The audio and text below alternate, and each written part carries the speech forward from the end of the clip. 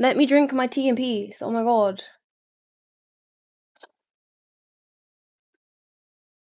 Is wishlist up to date? There's a couple of things I want to put on there, but I haven't yet. Nice biscuits.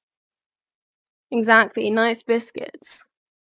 Um, I think there was I wanted to put like a couple other things, but yes, it's up to date. I believe so. Is tea with milk good? It depends what tea you have. That's what I think.